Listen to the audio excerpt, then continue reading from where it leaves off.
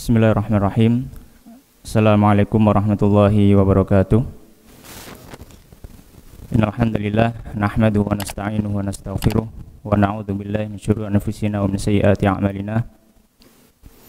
May yahdihillahu fala mudilla lahu wa may yudlilhu fala hadiya lahu.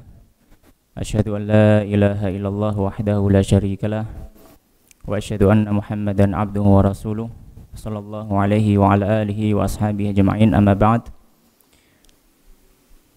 para jamaah sekalian hadirin dan juga hadirat rahimani wa rahimakumullah alhamdulillah. Pada sore hari ini Allah Subhanahu wa taala memberikan kita salah satu nikmat. Di antara nikmat-nikmat Allah Subhanahu wa taala yaitu dengan hadirnya seorang alim. Beliau adalah eh, Syekhna Dr. Labib Najib Abdullah Khalib Al-Adani Al-Syafi'i Al-Yamani rahimahullah taala. Beliau saat ini sedang tinggal di Indonesia. Beliau mengajar di Mahad bin Bas di Yogyakarta. Beliau berasal dari Yaman dan beliau salah satu ulama yang memiliki konsen terhadap masalah fikih terkhusus lagi masalah fikih syafi'i kalau kita tahu di channel YouTube beliau yaitu banyak dars atau pelajaran-pelajaran tentang pembahasan kitab-kitab fikih Syafi'i. Dan alhamdulillah beliau menyempatkan hadir untuk ke datang ke masjid kita ini dalam rangka atau subil hak atau sobi sober memberikan wasiat dengan kebenaran dan juga kesabaran. Maka tidak menunggu lama kepada Syekh فلشيخ فليتفضل. مشكورا. نعم. السلام عليكم ورحمة الله تعالى وبركاته. إن الحمد لله نحمده ونستعينه ونستغفره ونعوذ بالله من شرور أنفسنا وسيئات أعمالنا. من يهده الله فلا مضل له ومن يضلل فلا هادي له. وأشهد أن لا إله إلا الله وحده لا شريك له. وأشهد أن سيدنا محمدا صلى الله عليه وآله وسلم عبده ورسوله. أما بعد فأسأل الله سبحانه وتعالى أن يمن علينا بالعلم النافع والعمل الصالح وأن يفقهنا في الدين وأن يفتح لنا فتوح العارفين وأن يرزقنا الإخلاص في الأقوال والأعمال. اللهم آمين. الله سبحانه وتعالى أنزل علينا الكتاب الكريم وجعله على ثلاثة أقسام. القسم الأول يتعلق بالإيمان والعقيدة والقسم الثاني يتعلق بالحلال والحرام والقسم الثالث يتعلق بالقصص والأخبار. والقصص والأخبار إما أنها قصص عن عن الأنبياء السابقين كقصة آدم عليه الصلاة والسلام وقصة نوح وقصة إبراهيم وقصة موسى وقصة عيسى وقصة داود وسليمان وغيرهم من الأنبياء والرسل. وإما أن تكون القصص عن أناس لم يثبت أنهم أنبياء. أو عن أمم غابرة كقصة لقمان في سورة لقمان ولم يثبت أن لقمان من الأنبياء. وكقصة صاحب الجنتين في سورة الكهف وقصة أصحاب الجنة في سورة القلم وقصة ذي القرنين في سورة الكهف. هذا القسم الثاني من أقسام القصص والقسم الثالث من أقسام القصص قصص تتعلق بنبينا محمد صلى الله عليه وآله وسلم كقصة غزوة الأحزاب في سورة الأحزاب وقصة غزوة بني النضير في سورة الحشر وقصة غزوة بدر في سورة آل عمران وفي سورة الأنفال كذلك غزوة أحد في سورة آل عمران وقصة انشقاق القمر في سورة القمر وغيرها من القصص.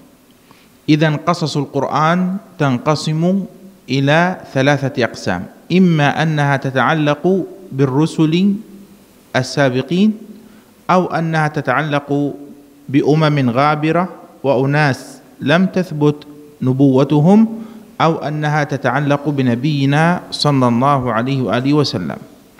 إذا نكون قد تعلمنا أن القرآن ينقسم إلى ثلاثة أقسام وتعلمنا أيضا أن قصص القرآن على ثلاثة أقسام تفضل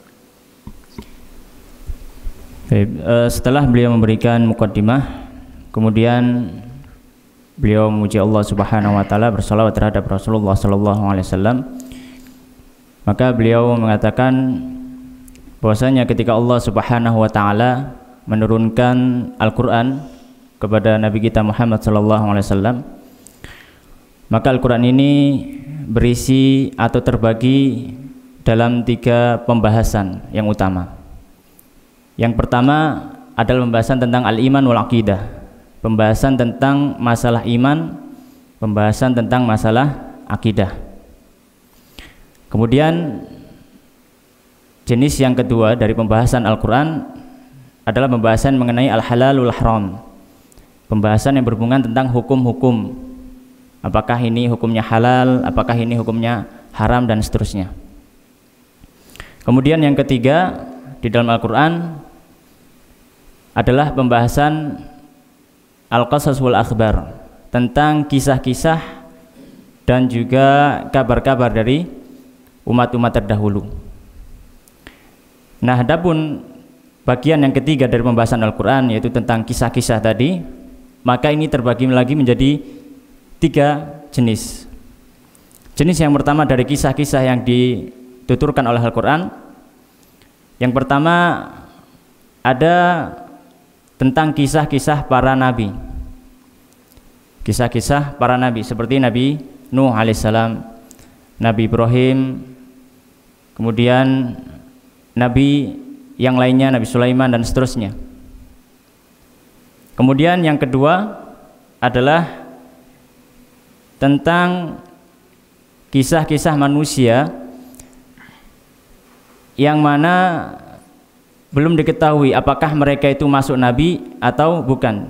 Unasun lam yathbut annahum anbiya. Seperti kisahnya Luqman dalam surat Al-Qur'an. Atau kisahnya Dzulqarnain dalam surat Al-Kahfi. Dan seterusnya.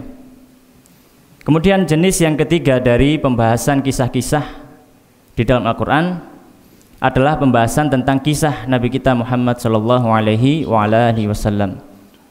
Seperti kisah tentang Waswa Bani Nawir ya, dalam surat Al-Hasyr atau kisah tentang perang Badar ya, dalam surat Al-Imran atau kisah tentang terbahnya, terbelahnya rembulan di dalam surat Al-Qamar dan seterusnya.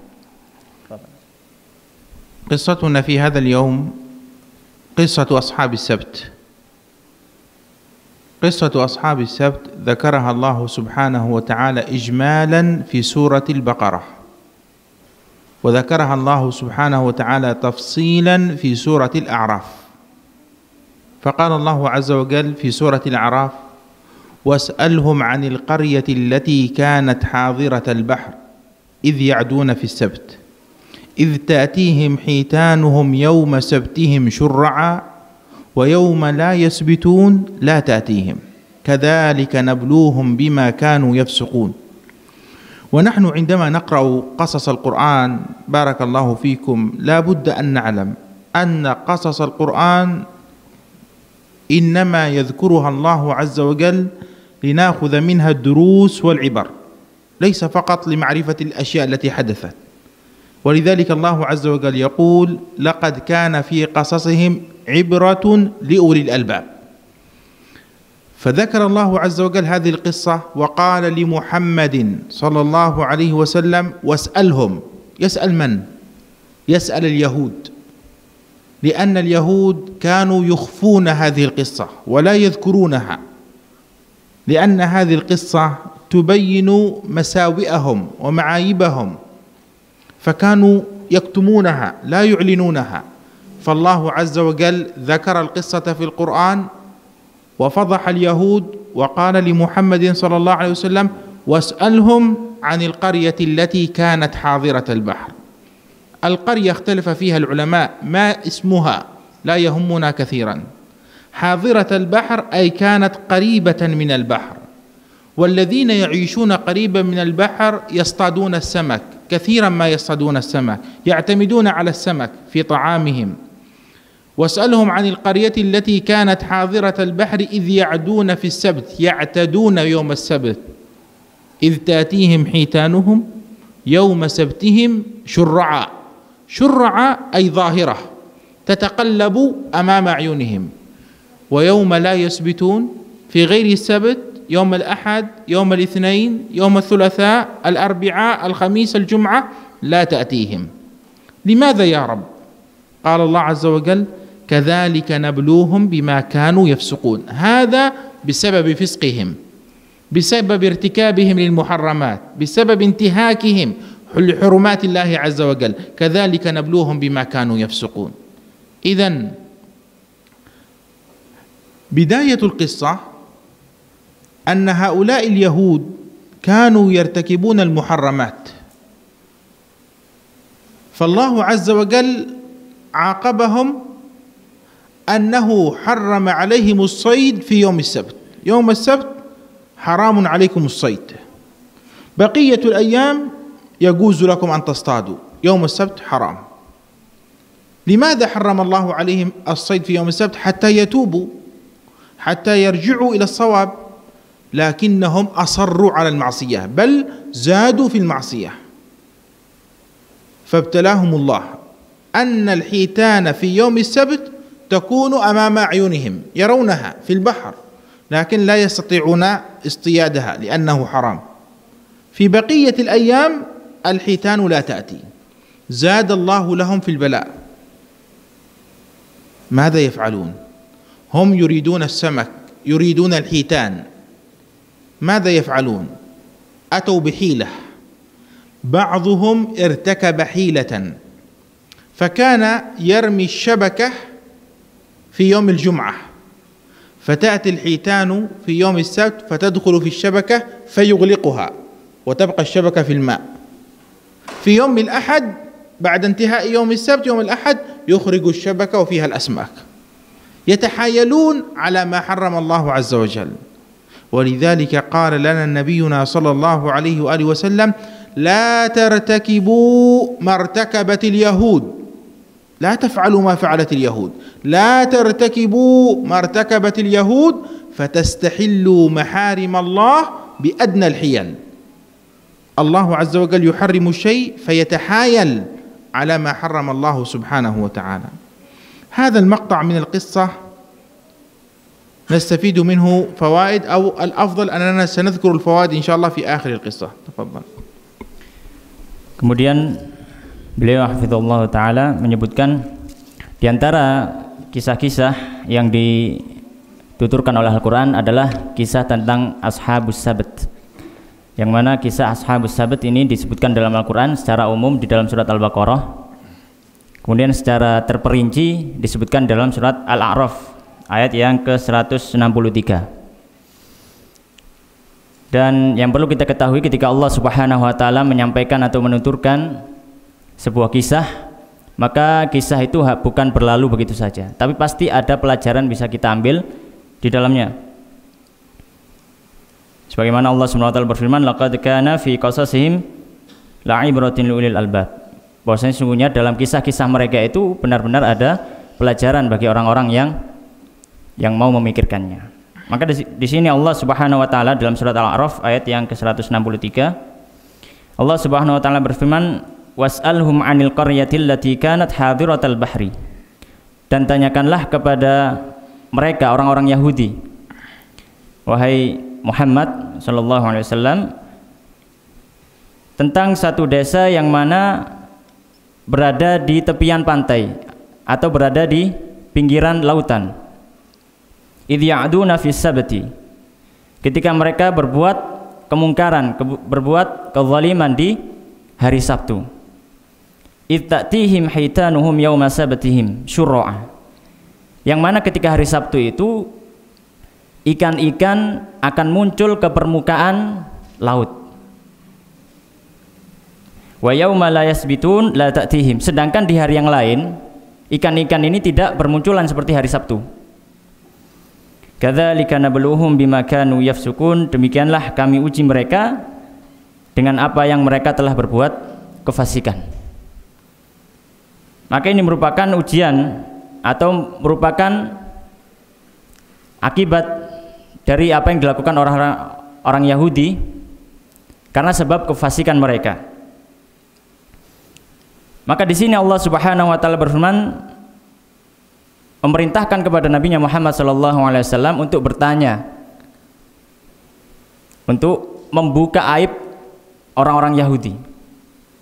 Tentang apa? Tentang kisah orang Yahudi yang terdahulu masalah hari hari Sabtu.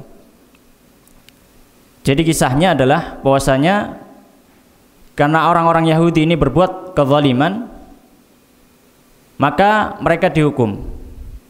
Boleh mereka mencari ikan di sepanjang hari, di semua hari kecuali hari Sabtu. Ketika mereka dihukum seperti itu, maka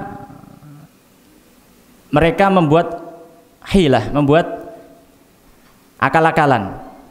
Ingin mengakali syariat yang diperintahkan Allah Subhanahu wa taala. Yaitu bagaimana caranya? Jadi mereka tidak apa namanya? tidak mencari ikannya di hari Sabtu. Tapi di hari Jumat mereka lemparkan jala atau perangkap ikan. Kemudian ditinggal. Kemudian ditinggal. Kemudian ikan itu masuk di hari Sabtu, kemudian mereka tutup dan mereka tinggalkan ikan itu berada di dalam air. Baru diambil di hari Ahadnya. Jadi mereka mencoba untuk apa namanya mengakali syariat yang diperintahkan Allah Subhanahu wa taala. Dan tentu di dalam kisah ini ada fawaid dan juga ada pelajaran-pelajaran bisa kita ambil yang insya Allah akan disampaikan beliau hafizallahu taala di akhir pembahasan nanti. انقسم اليهود في تلك القرية إلى ثلاث فرق. فرقة فعلت الحرام فاصطادت بالحيلة يوم السبت ارتكبت ما حرم الله عز وجل. وفرقة أمرت بالمعروف ونهت عن المنكر نصحت وذكرت ووعظت. وفرقة ثالثة سكتت لم تتكلم لم تفعل الحرام أيضا لم تنصح ولم تذكر ولم تعظ فكانوا على ثلاث فرق. حصل كلام حوار بين فرقتين. قال الله عز وجل وإذ قالت أمة منهم أمة أي طائفة لم تعظون قوما؟ لم تعظون قوما الله مهلكهم أو معذبهم عذابا شديدا؟ لماذا تنصحونهم؟ وأنتم تعلمون أن الله سيعاقبهم. لماذا تعظونهم تذكرونهم وأنتم تعلمون أن الله عز وجل ساخط عليهم؟ لم تعظون قوما الله مهلكهم أو معذبهم عذابا شديدا؟ قالوا الذين يأمرون بالمعروف والذين ينهون عن المنكر قالوا معذرة إلى ربكم ولعلهم يتقون. نفعل ذلك لأمرين الأمر الأول ليكون نصحنا وتذكيرنا عذرا لنا عند الله يوم القيامة. إذا سألنا ربنا يوم القيامة لماذا لم تأمروا بالمعروف نقول أمرنا يا رب. ماذا فعلتم؟ تقولون أمرنا يا رب بالمعروف نهينا يا رب عن المنكر. فيكون ذلك عذرا لنا عند الله معذرة إلى ربكم. والأمر الثاني لعلهم يتقون. لعلهم يعودون إلى التقوى لعلهم يتركون هذه المعصية لعلهم يعودون إلى رشدهم وصوابهم. قالوا معذرة إلى ربكم ولعلهم يتقون.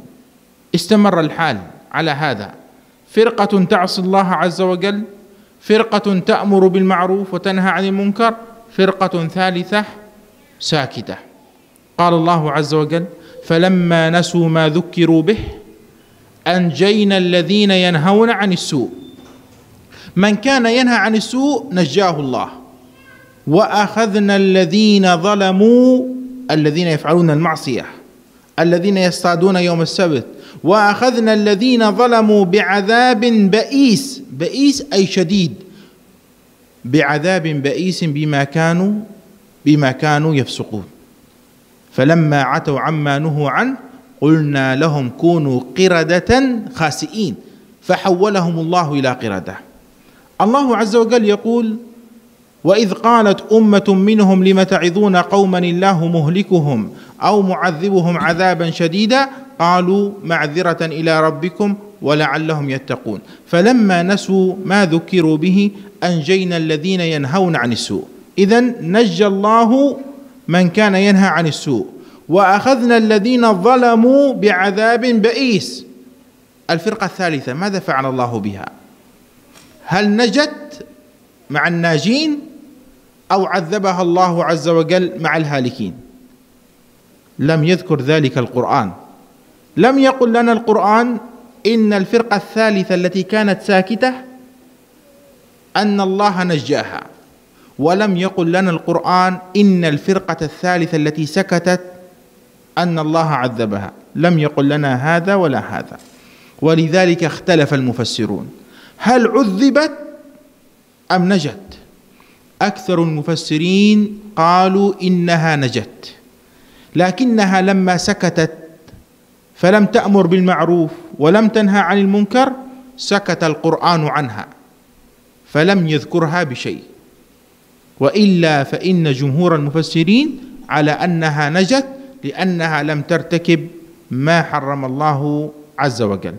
أما الفرقة التي ارتكبت الحرام فالله عز وجل مسخهم إلى قردة.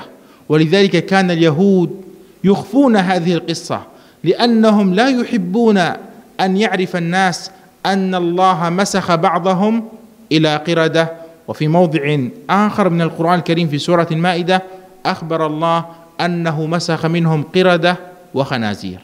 Nah. Kemudian beliau melanjutkan dan di ayat selanjutnya dari surat Al-A'raf yaitu ayat yang ke-164 hingga 166. Allah Subhanahu wa taala berfirman wa id qalat ummatun minhum lima ta'idhuna qauman illahu muhlikuhum aw mu'adzibuhum 'adzaban syadida. Sebelum itu maka di desa tadi yang mana ada orang-orang Yahudi atau perkampungan Yahudi yang berada di pinggir lautan tadi terbagi menjadi tiga kelompok. Kelompok pertama mereka yang melakukan hial tadi, yang melakukan akal-akalan tadi, melakukan keharaman.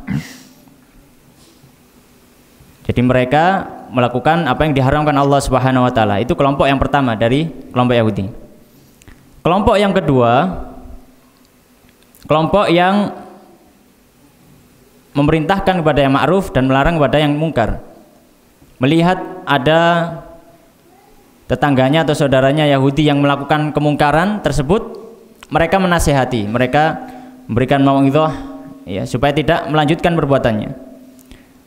Kemudian kelompok yang ketiga dari kelompok masyarakat di desa tadi itu adalah kelompok yang diam, tidak mau ikut campur, sudah biarkan saja seperti itu.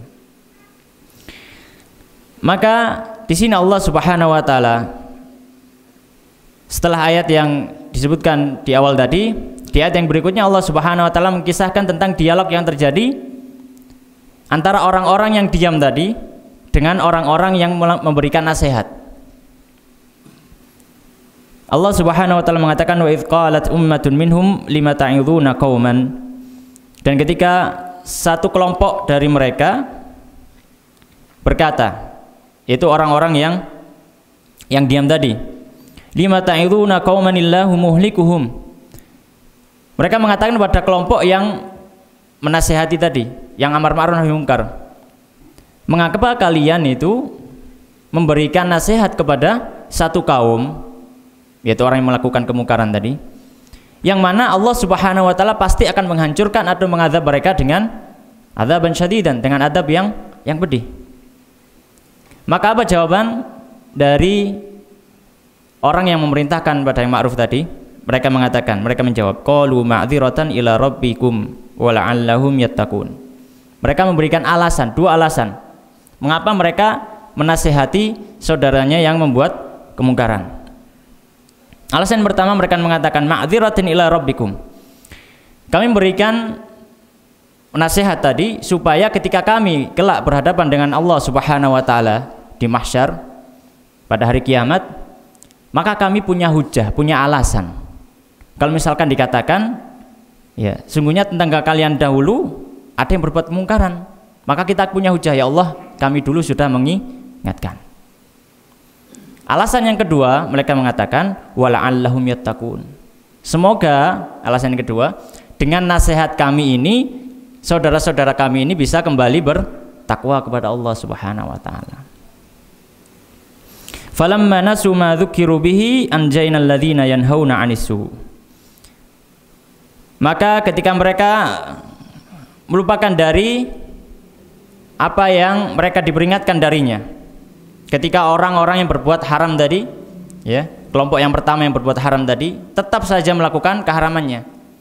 Tetap di hari Sabtu mereka masih mencari ikan mengambil ikan dari lautan.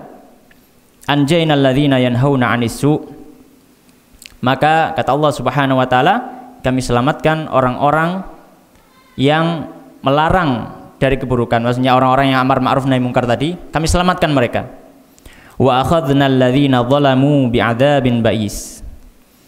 Dan kami menyiksa menghukum orang-orang yang berbuat zalim dengan azab yang yang pedih. Bima kanu yafsukun atas apa yang mereka berbuat kefasikan di dalamnya. Falamma atau amma nuhu anhu qulna lahum kunu qiradatan khasiin. Maka ketika mereka berbuat tetap berbuat zaliman terhadap apa yang mereka harusnya dilarang dalam hal tersebut maka Allah Subhanahu wa taala berfirman qulna lahum kunu qiradatan khasiin. Allah Subhanahu wa taala menghukum mereka kunu qiradatan khasiin. Jadilah kalian kera-kera yang hina. Maka di sini Allah Subhanahu wa taala akhirnya menghukum orang-orang Yahudi ashabus sabat tadi yang apa namanya melanggar perintah Allah Subhanahu wa taala dengan menjadikan mereka sebagai kera-kera yang yang hina dan di sini Allah Subhanahu wa taala masih belum menyebutkan tentang kelompok yang ketiga, kelompok yang diam tadi. Ya, jadi kelompok yang pertama sudah disebutkan, mereka dihukum menjadi kirodatan khasiin, menjadi kera-kera yang hina. Di dalam ayat yang lain disebutkan Allah Subhanahu wa taala mengubah mereka menjadi kiroda wa khanazir, jadi kera dan juga babi-babi. Kelompok yang kedua yang amar ma'ruf nahi mungkar, mereka diselamatkan Allah Subhanahu wa taala. Tapi Allah Subhanahu wa taala tidak menyebutkan kelompok yang ketiga yang mereka diam. Maka di sini para ulama ahli tafsir berbeda pendapat. Ada yang mengatakan bahwasanya atau pendapat yang paling banyak dari para ulama tafsir adalah mereka selamat.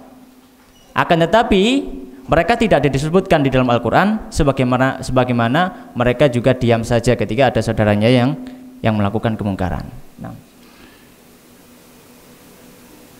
إذا تقرر هذا فإن من الدروس التي نستفيدها من هذه القصة الفائدة الأولى أن اليهود كانوا يكتمون هذه القصة ويخفونها ولا يحبون أن يعرفها الناس. حتى ذكرها القرآن الكريم وقال الله عز وجل لسيدنا محمد صلى الله عليه وسلم واسألهم ما خبر القصة التي كانت لأصحاب السبت واسألهم عن القرية التي كانت حاضرة البحر. هذه الفائدة الأولى. والفائدة الثانية أن الله سبحانه وتعالى قد يحرم الحلال على الناس بسبب ارتكابهم للمعاصي بسبب أنهم يفعلون المعاصي يرتكبون المحرمات يحرم الله عز وجل عليهم امورا هي في الأصل حلال. ولذلك الله عز وجل بسبب فسق اليهود حرم عليهم الاصطياد في يوم السبت مع أنه من قبل كان حلالا لهم.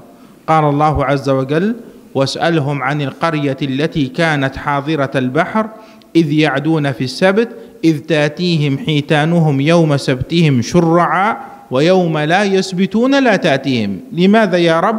قال كذلك نبلوهم بما كانوا يفسقون بسبب فسقهم. بسبب فسقهم حرمنا عليهم أن يصطادوا في يوم السبت. هذا الأمر أو هذه الفائدة الثانية. الفائدة الثالثة أن التحايل على الحرام حرام. الذي يتحايل على ما حرم الله عز وجل يزداد إثمه يرتكب حراما آخر. فهو يرتكب الحرام ويرتكب الحيلة. ولذلك حذرنا نبينا صلى الله عليه وسلم أن نسلك مسلك اليهود. فقال لا ترتكبوا ما ارتكبت اليهود فتستحلوا محارم الله بأدنى الحيل. وفي شريعتنا إذا طلق الرجل زوجته ثلاثا فإنها لا تحل له حتى تتزوج بغيره. ثم هذا الذي تزوجت به إما أن يطلق وإما أن يموت. ويكون الزواج الثاني زواج رغبة. فإذا تزوجها الآخر قاصدا أن يحللها لزوجها الأول كان ملعونا.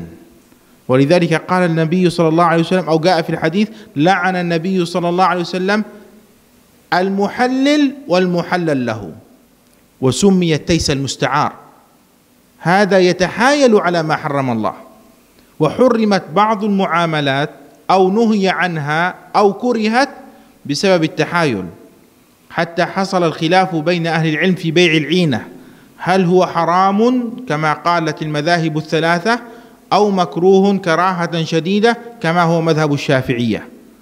لأن بيع العينة نوع من أنواع التحايل على ما حرم الله. فعلى كل حال نقول التحايل على ما حرم الله يزيد المعصية اثما وجرما هذه ثلاث فوائد نعم ثم ساذكر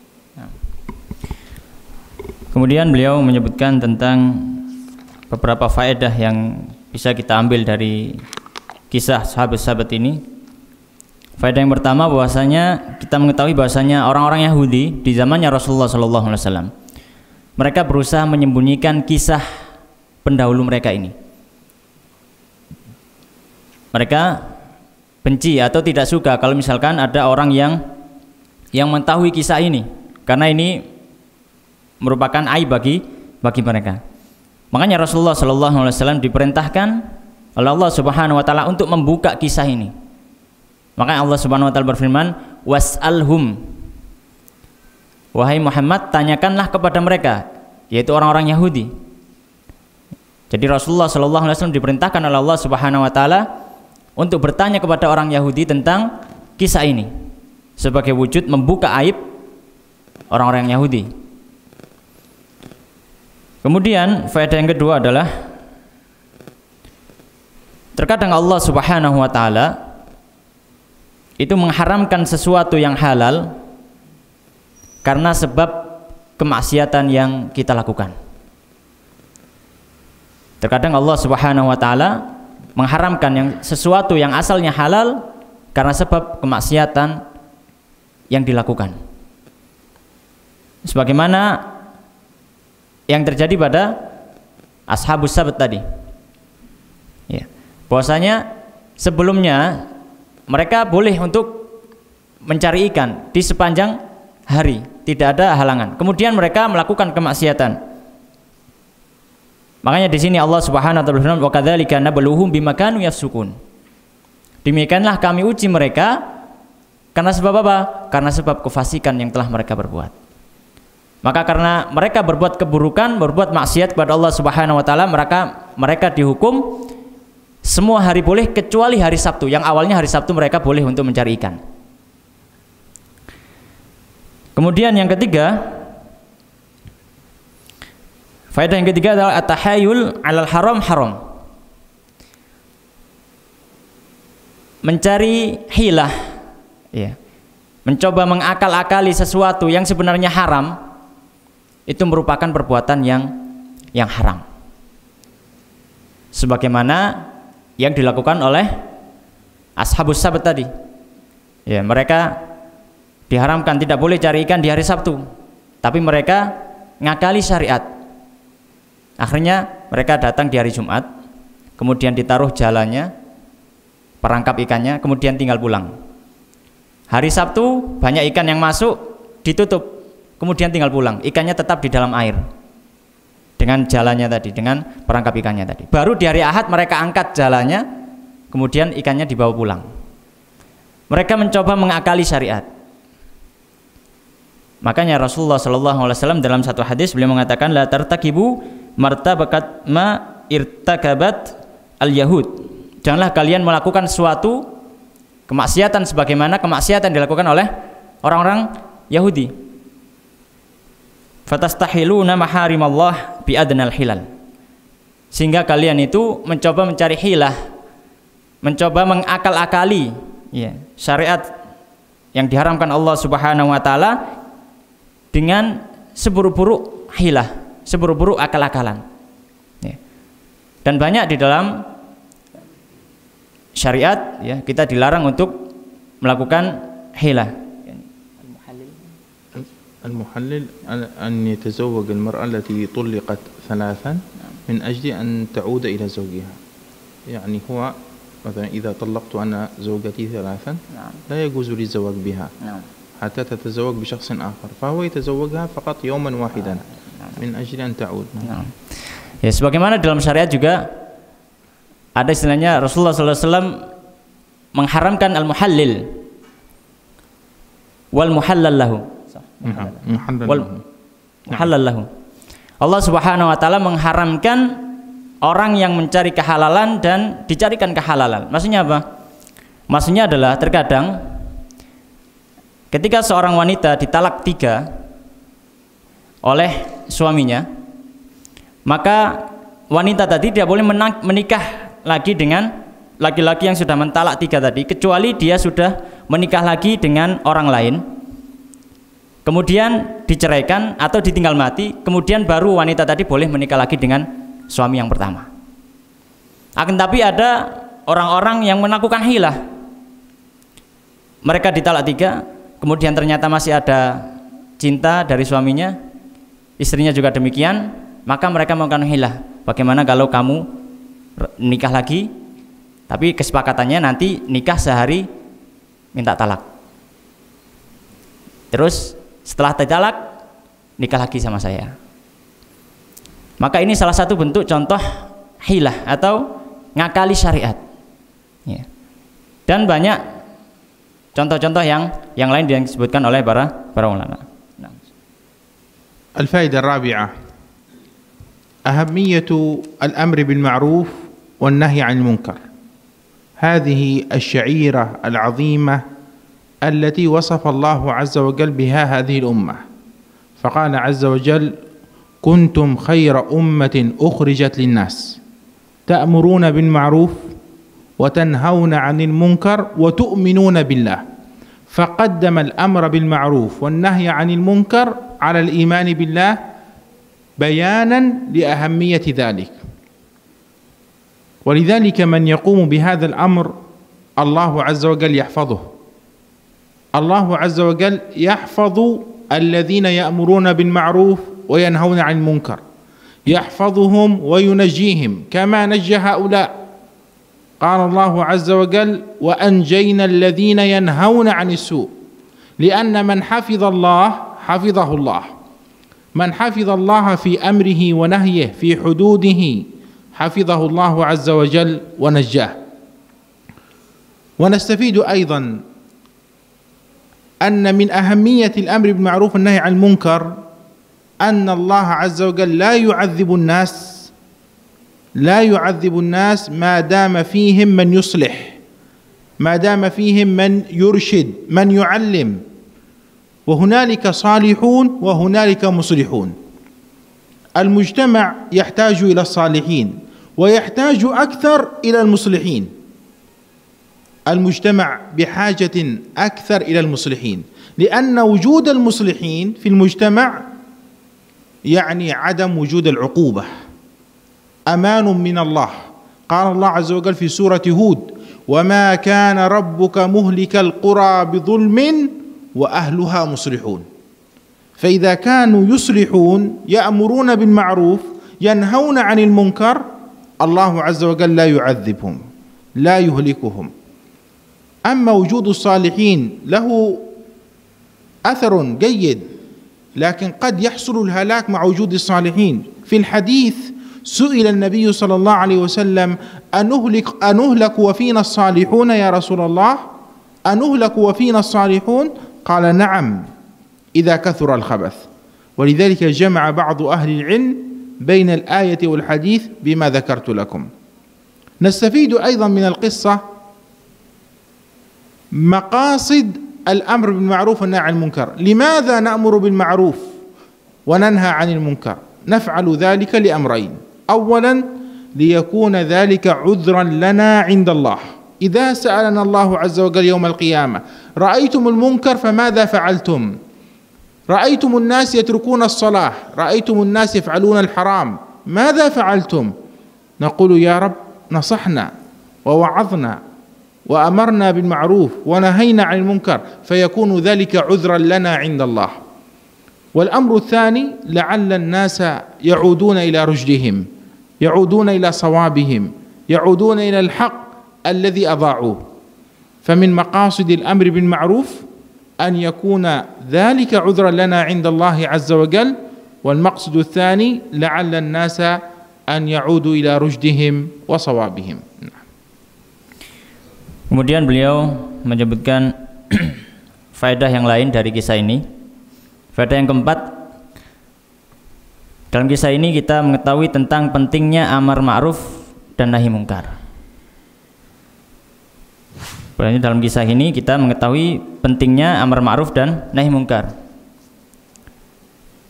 Maka Allah Subhanahu wa taala menyebutkan dalam Al-Qur'an kuntum khairu ummatin ukhrijat linnas ta'muruna bil ma'ruf wa tanhauna 'anil munkar wa tu'minuna billah. Kalian adalah sebaik-baik umat yang dikeluarkan untuk siapa? Untuk manusia. Apa alasannya? Alasannya adalah tak muru nabil ma'ruf. Kalian itu memerintahkan kepada yang ma'ruf wa tanhauna 'anil munkar. Dan kalian mencegah dari kemungkaran. Maka penting bagi kita untuk mengetahui hal tersebut bahwasanya amar ma'ruf nahi mungkar merupakan hal yang seharusnya kita senantiasa lakukan. Dan juga faedah lain dari amar ma'ruf nahi munkar ini bahwasanya Allah Subhanahu wa taala tidak akan mengadab satu kaum selama di antara mereka ada orang-orang yang amar ma'ruf dan nahi munkar. Makanya di dalam satu ayat Allah Subhanahu wa taala berfirman yang artinya bahwa tidaklah Allah Subhanahu wa taala itu akan mengadab suatu kaum dengan kezaliman mereka sedangkan di antara mereka ada orang-orang yang memberi peringatan. Maka dalam satu mujtama, dalam satu masyarakat ya, penting akan hadirnya seorang yang soleh atau kumpulan masyarakat yang soleh. Dan lebih penting dari itu adalah hadirnya masyarakat yang muslihun, bukan hanya soleh, karena soleh untuk konsumsi pribadi, tapi kalau muslihun mereka amar ma'ruf dan nahi mungkar. Bukan hanya kesolehannya untuk konsumsi pribadi, tapi juga disebarkan pada masyarakat. Ya. Karena bisa jadi Allah Subhanahu Wa Taala mengadab satu kaum, sedangkan di antara mereka ada orang soleh. Makanya dalam satu hadis Rasulullah Shallallahu Alaihi Wasallam pernah ditanya, ya, wahai Rasulullah, apakah kami akan dihukum sedangkan di antara kami ada orang soleh? Maka Rasulullah Shallallahu Alaihi Wasallam mengatakan, "Naam, idza khabath." Jika banyak keburukan-keburukan sudah tersebar. Maka di sini para sahabat menanya apa namanya? Bertanya kepada Rasulullah SAW, apakah kami akan dihukum ketika di antara kami ada as-salihun, bukan muslihun? Maka ini penjelasan menggabungkan antara ayat tadi dengan hadis tadi.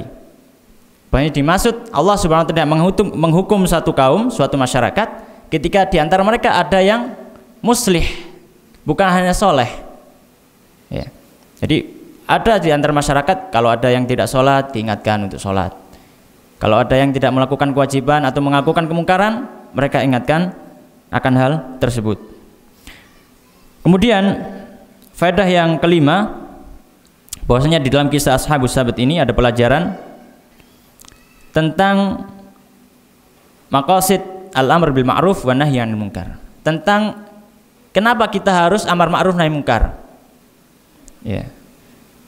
Maka di sini Allah Subhanahu wa taala ya, ketika mengabarkan kisah tentang orang-orang Yahudi tadi yang melakukan amar ma'ruf mereka mengatakan qalu ma'dziratan ila rabbikum yattaqun. Maka termasuk maksud kenapa kita harus amar ma'ruf nahi munkar yang pertama adalah supaya bisa menjadi hujah ketika kita di hadapan Allah Subhanahu wa taala kemudian kita ditanya kenapa ada saudara, tetangga, keluarga yang masih melakukan kemungkaran. Maka kita bisa mengatakan kita sudah meng mengingatkan, kita sudah melakukan amar ma'ruf, kita sudah nahi mungkar. Kemudian faedah yang kedua atau maksud yang kedua dari amar ma'ruf nahi mungkar adalah supaya dengan harapan orang yang diberikan peringatan, orang yang dinasihati bisa kembali kepada kebaikan, bisa kembali bertakwa kepada Allah Subhanahu wa taala. akhir faedah نستفيدها من هذه القصة قدرة الله عز وجل على أن يمسخ الإنسان إلى ما شاء. فالله سبحانه وتعالى مسخ اليهود أي حولهم إلى قردة خاسئين خاسئين أي ذليلين من المذلة. وأخبر في سورة المائدة أنه مسخهم إلى قردة وخنازير. فالله عز وجل ala kulli syai'in qadir yu'aqibu ibadahu bi'uqubatin mutanawwi'ah min tilka al'uqubat anna Allah 'azza wa jal masakha haula'i al-yahud ila qiradatin khasi'in. Kemudian yang terakhir dari faedah di kisah ini adalah tentang kekuasaan Allah Subhanahu wa taala. Bahwasanya Allah Subhanahu wa taala mampu untuk merubah dari manusia. Ya merubah bentuk mereka. Ya sebagaimana Allah Subhanahu wa taala merubah orang-orang Yahudi ashabus sabat tadi kepada bentuk kera-kera dan juga babi-babi.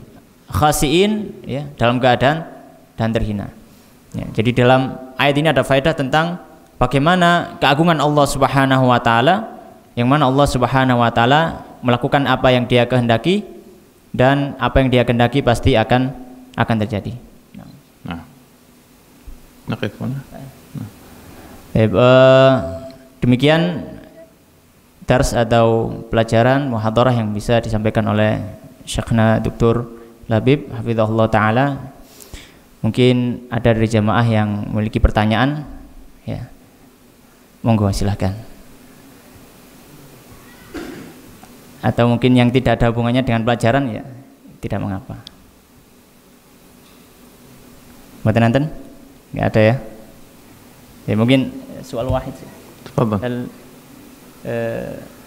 هذا قول الله تعالى يعني كنا لهم كونوا قردة خاسئين قردة حقيقية أو نعم قردة حقيقية يسأل هل الله عز وجل عندما قال لهم كونوا قردة خاسئين كانوا قردة حقيقيين نعم حولهم الله إلى قردة حقيقة لكن من الأشياء التي نبه عليها بعض أهل العلم أن هؤلاء القردة ليس لهم نسل كما جاء في صحيح مسلم فهم لا يتوالدون. ولذلك من الخطأ بعض الناس عندما يتكلم يقول عن اليهود أبناء القردة والخنازير. القردة ليس تلك القردة الممسوخة ليس لها أبناء ليس لها ذرية. إنما كما ذكر المفسرون مكثوا ثلاثة أيام وهم قردة حقيقيين ثم ماتوا. واضح؟ مكثوا ثلاثة أيام قردة حقيقيين ثم ماتوا. ولذلك ليس من الصواب أن نقول عن اليهود أبناء القردة والخنازير وإنما يقال عنهم إخوان القردة والخنازير. لا هذا صحيح. أن تقول إخوان لأنهم الذين مسخوا من إخوانهم. لكن ليسوا من أبنائهم لأن من مسخ ليس له لم يجعل الله عز وجل له ذرية نعم Nah, jadi eh, tadi saya bertanya tentang ketika Allah Subhanahu wa taala berfirman waqul waqulna lahum kunu qiradatan khasiin dan kami katakan jadikanlah kalian kera-kera yang hina. Ya, kami bertanya apakah kera di sini itu benar-benar kera? Gitu. Makanya ya sudah apa jelger jelger kera gitu ya, sudah bentuk kera gitu atau ada makna yang lain. Maka beliau menyam- menyampaikan bahwasanya eh, di sini adalah memang kera, kera betulan. Jadi ashabus sabat tadi itu yang melakukan kemungkaran, mereka benar-benar dirubah bentuk mereka. Bentuk fisik mereka dibentuk dirubah menjadi menjadi kera. Tapi yang perlu digarisbawahi bahwasanya ketika mereka dirubah menjadi bentuk kera tadi itu ya, mereka tidak memiliki anak keturunan. Iya. Jadi ketika mereka berubah menjadi kera, sudah mereka mati. Ketika mati tidak ada keturunan. Ya. Maka salah kalau misalkan kita mengatakan kita mengatakan kepada orang yang Yahudi abnaul kirodah. Wahai anak-anak atau keturunan kera-kera dan babi-babi. Ya salah. Kenapa? Karena kera-kera tadi sahabat-sahabat orang-orang Yahudi yang dirubah menjadi kera tadi, mereka ketika sudah berubah menjadi kera, mereka tidak memiliki keturunan kembali. Ya, jadi ketika sudah mati sudah habis. Tapi kalau kita misalkan bilang kepada orang Yahudi, ikhwanul kiradah wal khanazir, saudara-saudara kera dan babi, boleh. Ya, kenapa? Karena memang yang dirubah tadi saudara mereka dari dari orang Yahudi. Ya, tapi mereka bukanlah keturunan dari kera-kera itu, tapi mereka masih saudara-saudara dalam satu agama mereka. Demikian. Mungkin ada soal lagi? Nggih, monggo.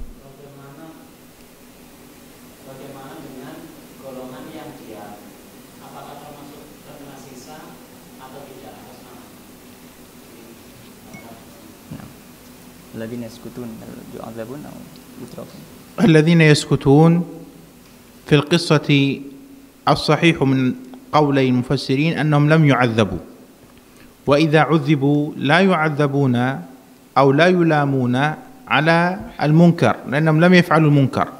وإنما سيكون عتابهم لأنهم سكتوا فلم يأمروا بالمعروف ولم ينهوا عن المنكر.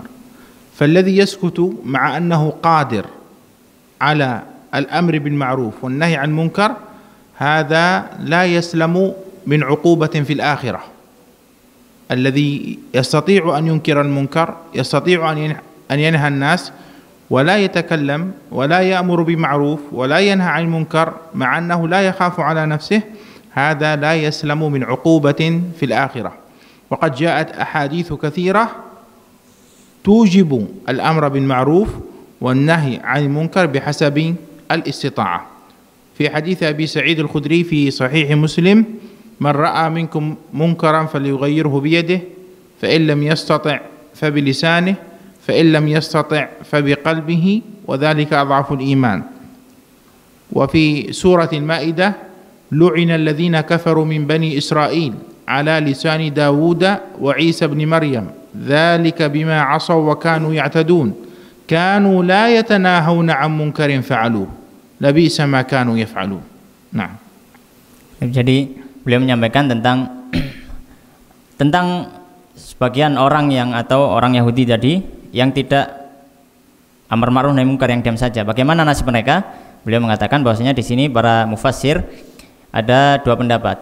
Akan tapi pendapat yang yang banyak dari kalangan mufassirin bahwasanya mereka tidak ikut diazab.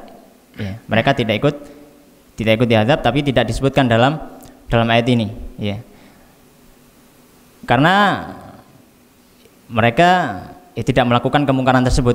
Akan tapi di ayat ini Allah Subhanahu wa taala mengatakan bahwasanya Allah mengadab orang-orang yang melakukan kemungkaran itu. Maka ihtimal atau kemungkinan terjadi sebagaimana dikatakan oleh para mufassir bahwasanya mereka selamat. Akan tetapi yang perlu diperhatikan juga meskipun mereka selamat atau mungkin ada orang yang tidak amar ma'ruf, nahi munkar sedangkan mereka mampu untuk melakukannya tidak takut akan terjadi horor ya keburukan terhadap dirinya meskipun mereka selamat di dunia belum tentu mereka selamat di di akhirat ya karena banyak hadis-hadis ya yang menjelaskan tentang hal itu ya Juga di antaranya hadis Abu Sa'id Al Khudri tadi yang disebutkan oleh Syekh dalam Sahih Muslim, bahwasanya barang siapa yang melihat kemungkaran, maka hendaknya dia merubah dengan tangannya dan seterusnya. Juga dia dalam ayat tadi Al-A'raf ya, surat Al-A'raf ya. Bahwasanya Allah Subhanahu wa taala atau dilaknat orang-orang Yahudi. Ya. Dilaknat oleh Allah Subhanahu wa taala melalui lisan Nabi Daud alaihissalam dan juga lisan Nabi Isa alaihissalam. Kenapa? Kanu la yatanahawna an munkarin fa'alu.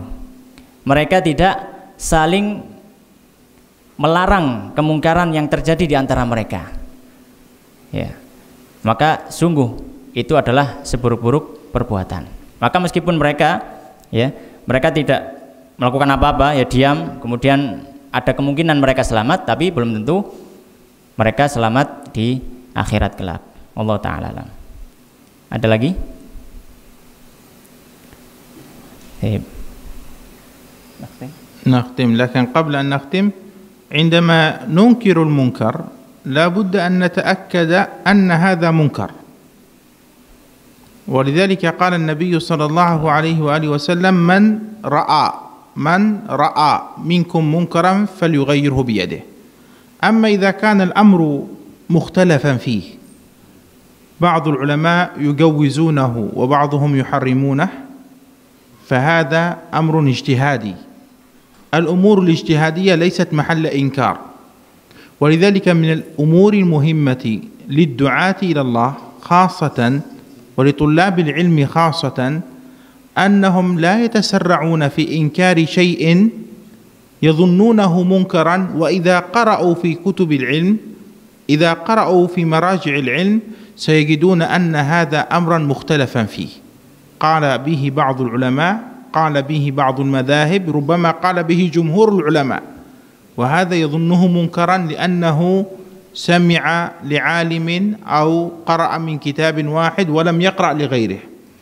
ولذلك من المهم جدا لطالب العلم وللداعية أنه لا يتسرع في إنكار شيء حتى يتيقن حتى يغلب على ظنه أن هذا الأمر فعلا منكر. فإن كان الأمر اجتهاديا حصل به اجتهاد بين أهل العلم فالأصل أنه لا ينكر. يمكن أن يقول أنا أقلد العالم الفلاني أو الإمام الفلاني ولا أقلد الإمام الفلاني. هذا أمر شخصي.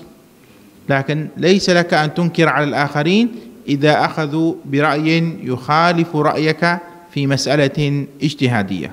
نعم. نكتفي بهذا القدر والله أعلم. وصلى الله وسلم وبارك على نبينا محمد وآله وصحبه أجمعين. والسلام عليكم ورحمة الله وبركاته. Ya, kemudian beliau di penutup beliau memberikan satu nasihat juga. Bahwasanya dalam kaidah nahi mungkar amar ma'ruf nahi mungkar maka kita harus melihat tentang kemungkaran yang akan kita ingkari Kenapa? Karena Rasulullah Shallallahu Alaihi Wasallam bersabda, "Man ro'a minkum munkaro." Barang siapa yang ro'a, ro'a itu melihat. Kalau melihat berarti sudah yakin. Yakin apa? Yakin bahwa tanya itu adalah kemungkaran. Maka ketika kita belum yakin apakah itu kemungkaran atau tidak, atau kita masih ragu-ragu, ya, maka janganlah kita terburu-buru untuk mengingkari permasalahan tersebut. Karena kaidahnya adalah kita boleh amar ma'ruf nahi mungkar terhadap kemungkaran yang jelas-jelas itu adalah kemungkaran.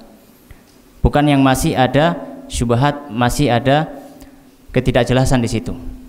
Ya. Maka janganlah kita tergesa-gesa dalam melakukan nahi mungkar atau amar ma'ruf dan yang semisalnya. Karena terkadang ya, kita melihat ada beberapa permasalahan ada ulama yang atau syariat ya para ulama beristimbat dari nas ya beristimbat melakukan e, apa namanya kesimpulan hukum ini adalah boleh. Ulama yang lain mengambil dalil-dalil juga yang sama kemudian berkesimpulan ini adalah haram. Karena sesuatu itu berbeda 180 derajat. Dan itu merupakan permasalahan ijtihadiyah. Permasalahan yang apa namanya ijtihad di situ. Ya. Maka dalam permasalahan-permasalahan seperti ini, maka hendaknya kita tidak terburu-buru untuk langsung mengingkari kemungkaran tersebut atau kemungkaran yang masih belum kita kita yakini, ya. Maka janganlah kita terburu-buru untuk segera mengingkari kemungkaran sebelum kita yakin benar itu adalah kemungkaran atau ya gulub ala dhonni. Ya. Apa namanya? Kita memperkirakan bahwasanya sudah mendakiti yakin itu adalah kemungkaran. Ya baru kita melakukan amar ma'ruf dan dan juga nahi mungkar. Demikian yang bisa disampaikan.